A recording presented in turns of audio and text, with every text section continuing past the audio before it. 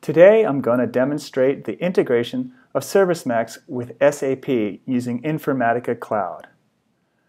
The first part of the demonstration will bring accounts, contacts, locations, products, and pricing data from SAP over to ServiceMax. Let's start by viewing the data in the ServiceMax system. I'll select the Accounts tab and open a view called SAP Accounts, which searches for accounts which were sent from SAP. As you can see, there are no records before this integration has run. We will see the same results if I select the tabs for Contacts, Locations, and Products.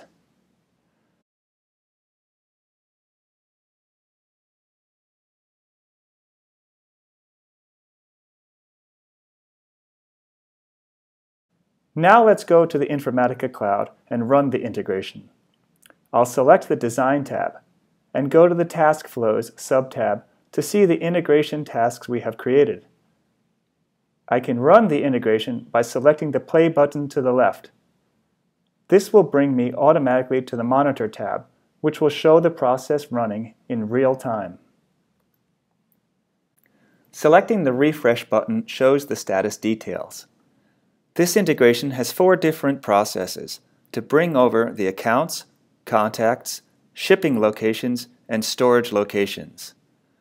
We can see the job results updating dynamically as data is sent across from SAP to ServiceMax. When the integration is finished, it will bring us automatically to the Monitor tab. Okay, it's done. Let's go back to the task flows and run another integration.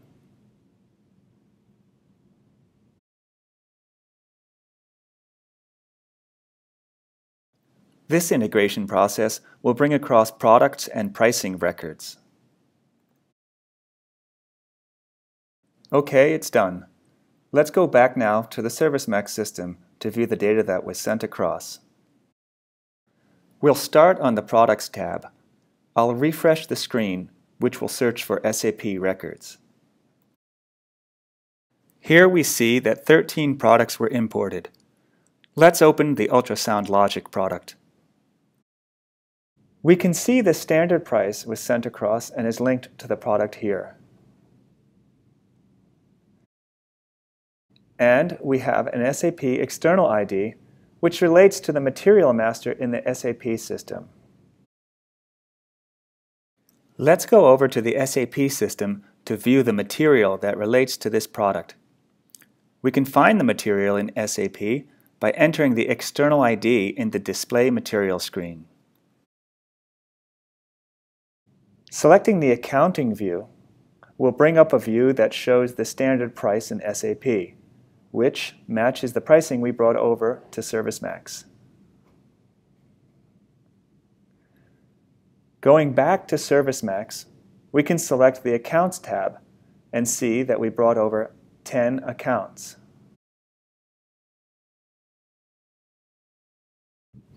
Let's view the Thomas Bush account.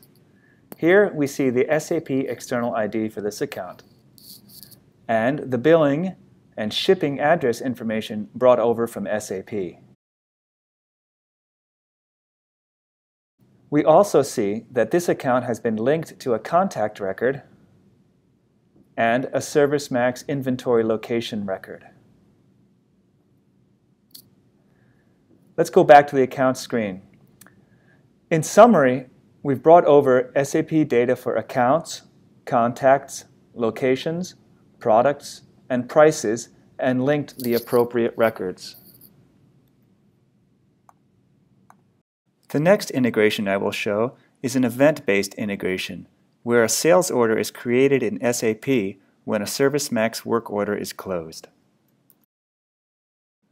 I'll start by creating a work order by clicking the Create Work Order button from within the Thomas Bush account. In the Create Work Order form, we specify the purpose of the visit is for a repair, and the billing type will be a purchase order.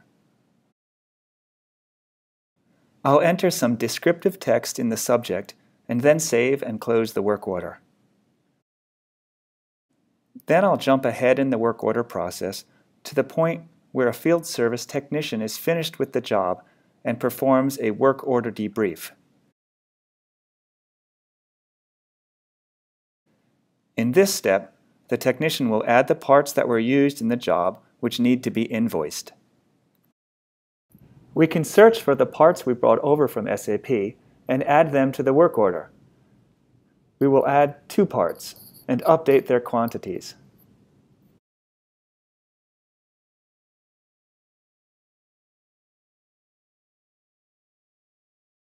Then we will save and close the work order.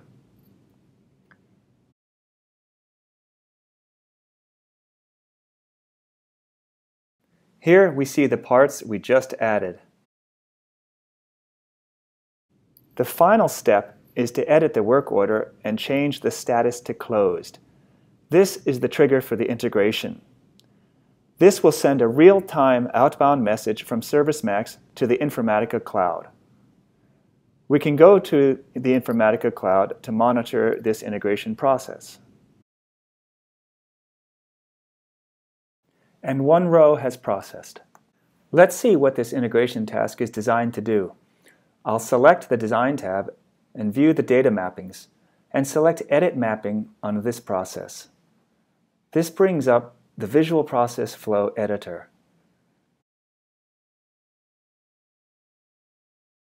The first step of the process receives the outbound message sent from ServiceMax.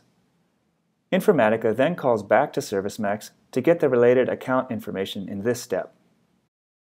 Another call to ServiceMax is made here to get the work order details which contain the parts information. Then there are three transformations to put this data into SAP format, which is then fed into the SAP API here, which creates the sales order. Finally, Informatica calls back to ServiceMax to store the sales order ID on the ServiceMax work order. Let's look at how an outbound message is configured in Salesforce. Select Setup and search for outbound messages on the left. We have set up one outbound message. Opening it up shows that outbound messages are simple to create and configure, where you can specify the object that triggers the event, the endpoint URL of the receiving Informatica system, and you can download a WSDL that Informatica must import to receive the message. You can also configure the workflow rules for when the event is triggered. In this case, the trigger occurs when the work order is closed. So let's see the results of this integration. Let's go back to the work order that we closed in ServiceMax. I'll refresh the screen and we can see that the integration recorded the ID of the newly created SAP sales order. We will copy this ID and search for the sales order in the SAP system.